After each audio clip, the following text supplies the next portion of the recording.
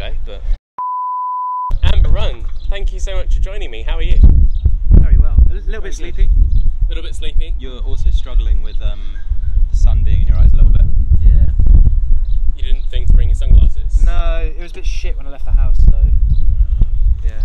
Yeah. um, we're at, we're at Barn on the Farm, and I, do you know what? I asked my housemate this, who has played Barn on the Farms many times. I said, "Is it unfair to say Amber Run and Barn on the Farm royalty?"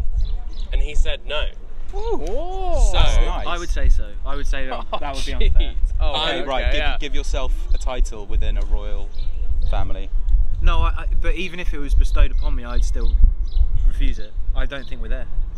Oh, right. Okay. I thought you said yes. No, no. I no, thought you no. were hardcore yes. No, I'm a hardcore no. Right. I mean, that, Right. that uh, would Well- be quite the honour. We, we've played a few times, and I think it's the first festival, we, one of the first festivals we played as a band. You guys were on the lineup before you were called Amber Run, Correct. That is fair. We and were that. also on the Reading and Leeds lineup before we were called Amber Run. So we're Reading and Leeds royalty. So as you're well, Reading and Leeds royalty. I think that would be a bit of That'd be a, real stretch.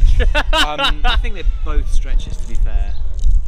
nah, it's, I don't want to be a pessimist, but Oh, Ah, I don't know. It seems, Royal seems like, Rain- Mr. yeah, Rain Jacket Henry. Royal. seems Um, consistent. Um, it's a pleasure to be back. We really like playing this festival. Josh and the good people and the, and the guys that will run it are, are really good, really good people, and they've been involved with, with our band and our story before we were invited to come play Barn on the Farm. And it's a pleasure to be amongst friends. And regardless of royalty or any of that, it's uh, it's dead nice to come and just be amongst people you know and, and come play some shows because that's what it's all about, really. Anyone you're particularly excited to see? Look forward to seeing Cassia today. Um, so I'm a huge Bombay Bicycle Club fan, so that'll be really, really fun. Fatherson on Sunday. are they? Fatherson, yeah. Um, yeah, but I think one of the, one of the beauties about Barn and Farm and some of these festivals as well is finding some new people that you really, really like. I'm, I'm like bit of a dinosaur when it comes to like Spotify and all that because I just end up listening to the music I've saved and I already know, and I'm quite bad at like learning about the new stuff. So it's in these kind of settings where I get blown away by like new folks. I'm just excited to just post up and, and, and watch some watch some people that I don't know yet that I'll probably learn to love. Incredible. So we we've heard some new music from Amber Run recently. Um, act one, Act two. What? Talk to me about this. You're traditionally an album band, and now we're we're Yeah. moving away from that. Um, not necessarily. I mean, it was it was uh, it was it was quite a fun project for us to want to engage ourselves more consistently, creatively, get in the studio more often, get writing more often, as opposed to spending a, a chunk of time writing and then you get a few weeks in the studio and you've got to nail everything for an album in one go. So that's what I was born out of the last few years, all being a bit hectic and, and wanting to push ourselves creatively. Um, but we just wanted to release music more often, essentially, rather than leaving it several years between releases. And it's been so much more enjoyable. Well, it's been very enjoyable. I wouldn't say we wouldn't do albums again.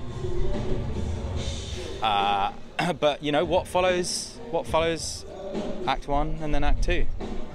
M- maybe Act three. I don't know. Maybe.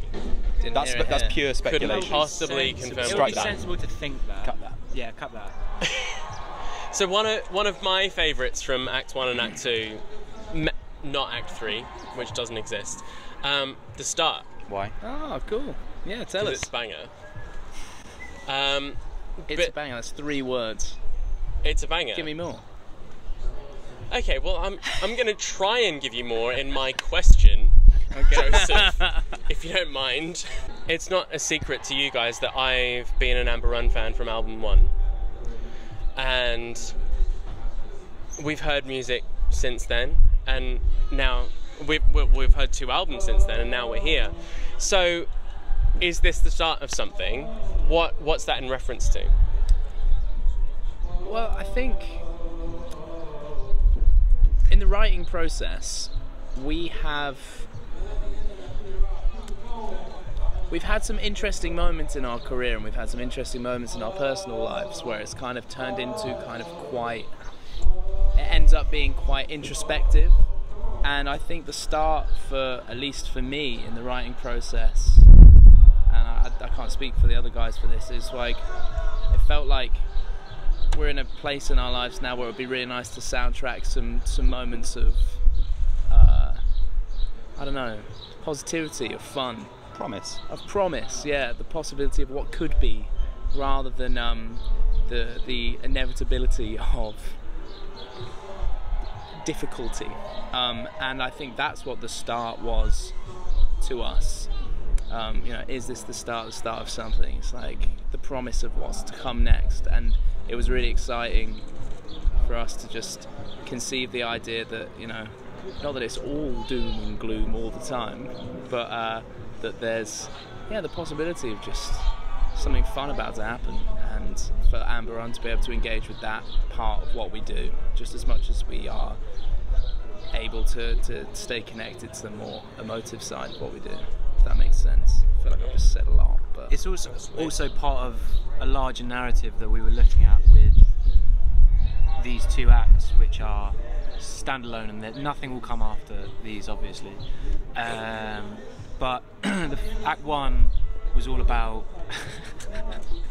act One was all about uh, feeling like you're in a rut. There's like the the like the monotony of everyday life and regardless of what you're doing, I think quite a lot of people experience that during COVID, just being like, what what am I doing with my life kind of thing, that like quarter life crisis kind of thing. And so this EP is a slightly more optimistic look at like, oh, you know, there is there is a possibility for change and um, that sort of positivity that comes with that.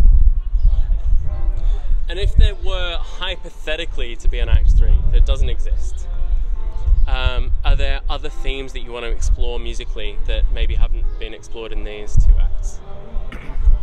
You can be as vague as you want with this response. Maybe. Not that vague.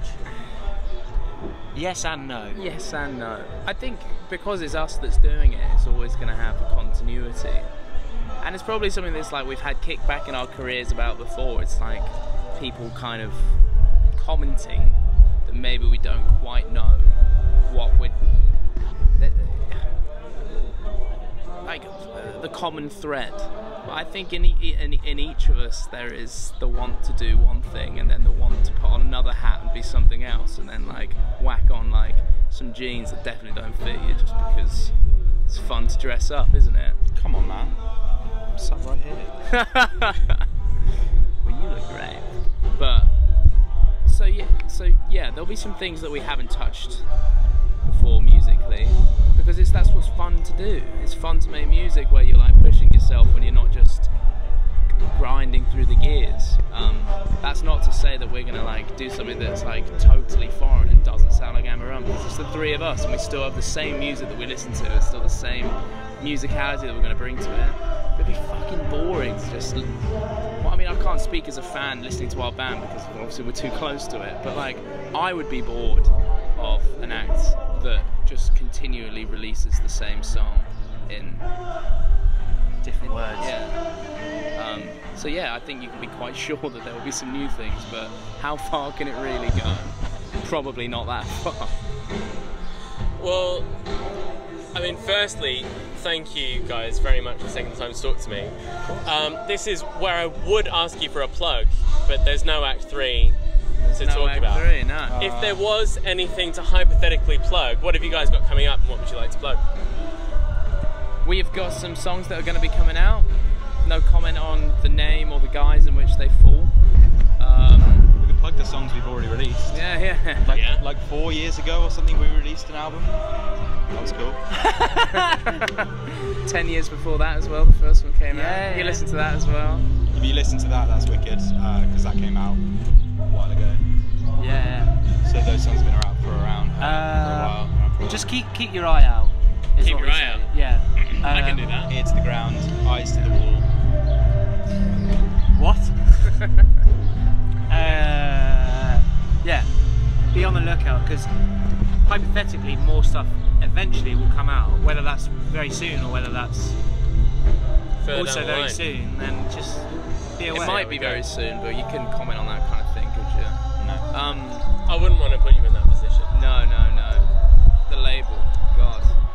world exclusive. Maybe Amber Run are going to release music at some point in the future. Maybe. I'm gonna tweet the shit out of that. That's gonna get some traction. I yeah. And maybe there'll be some more shows. Amazing. Maybe. Well, thank you guys so much. I'm very much looking forward to the set tonight. So are we. Yeah.